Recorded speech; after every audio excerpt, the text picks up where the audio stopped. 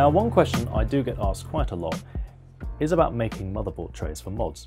So there are a few different ways you can go about doing this. I'm going to show you one of the ways to make one from scratch because it's really quite a useful thing to be able to do because sometimes you're either going to be doing a scratch build where you need everything made from scratch or you may just want to replace a particular part in your case or something else with a different feature. So knowing how to be able to make a motherboard tray yourself is a really useful skill. So I'm going to guide you through it, show you some examples. I've also got a load of CAD files that I've prepared based on the actual ATX specification, which you'll be able to download along with 3D files for those as well. And then hopefully you can put these into your own mods. So let's get into it.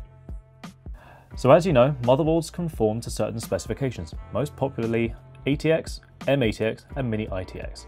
This ensures compatibility between different components, an important point to consider when making your own chassis. Thankfully, the measurements are readily available at formfactors.org in the form of the official specifications. I've gone and used these specifications to draw up some template files you can download in the links below that have the mounting points as well as the PCIe slot locations for ATX, M-ATX and ITX boards. If you need more detailed figures for say legacy connectors, these can be found in the official spec sheet PDFs. Using Fusion 360, a 2-scale 2D drawing can be generated that can be printed to use as a template for cutting or drilling. The best thing about working to the spec sheet is that you have lots of control. I thoroughly recommend becoming comfortable with them, especially since they also contain information about other components such as power supplies or add-on cards. Okay, so I've gone and printed off one of the templates that we're going to be using. So I'm going to be using an ATX one today.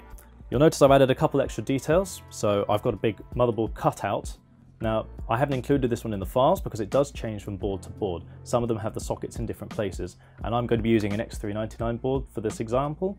That's going to be different to say Z370 or similar. So this is what we're going to be working with. It's made from four sheets of A4 paper that have been stuck together with some sellotape.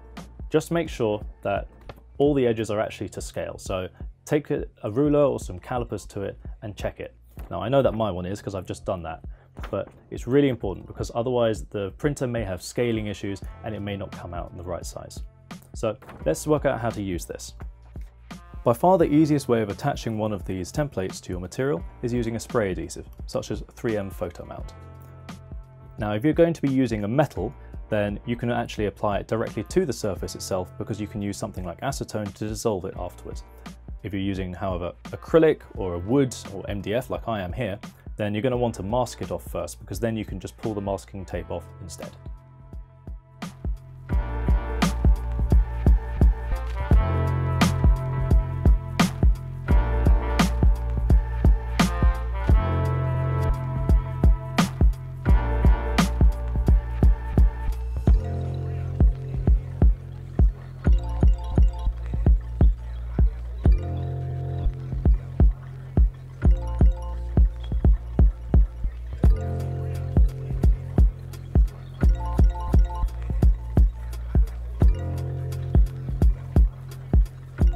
So for this example, I've just roughly cut out a piece of MDF.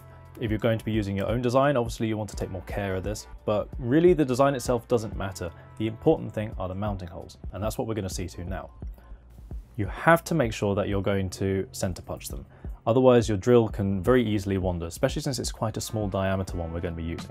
I'm going to be using M2.5 because I'm going to be threading for M3 standoffs later. I'm using a pillar drill to make this more accurate, but you can very much do this by hand if you're using a softer material such as acrylic or MDF or other woods. If you're using metals, I do suggest using a bench press of sorts. So this is the point we've got to with the tray itself so far. I've just removed the template from the front, so now we've got a clean surface. The next step is to install standoffs. Now, the standoffs are really important because they hold the motherboard off the surface. That's important not only if you're using a material like aluminium, which is obviously conductive, but there are lots of things on the back of motherboards nowadays. There'll be mounting screws, back plates, or even M2 slots if you're using an ITX board, for instance. So the standoffs play quite a crucial role, and they come in several different flavors. One of the ones that I like to use a lot are these little M3 ones. Now, they're 5mm tall, and they've got an M3 thread on both the inside and the outside. Now these are great for using with metal, they can also work with acrylic, but the threads can strip. So quite often you're going to end up using say an industry standard one which is a 632, so it's not metric, that's imperial, or you can use an M4 which is a bigger yet. The 632 ones are very common in cases that you're going to buy off the shelf, so you may have a few of those lying around from a previous build for instance. Now I am aware that tapping into MDF isn't exactly the most robust thing to do, especially for a small diameter hole like M3, but for the sake of this example, it's going to do fine.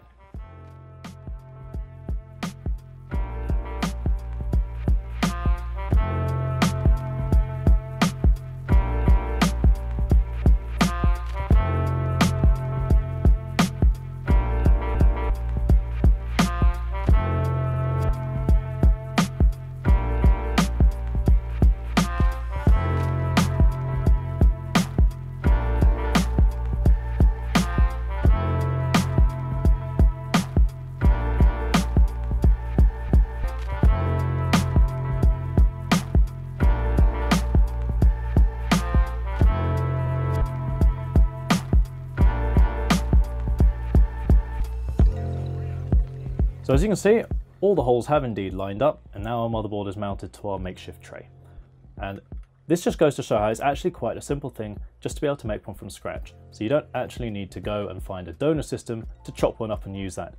You can make one from scratch instead for your build and it will be a better fit.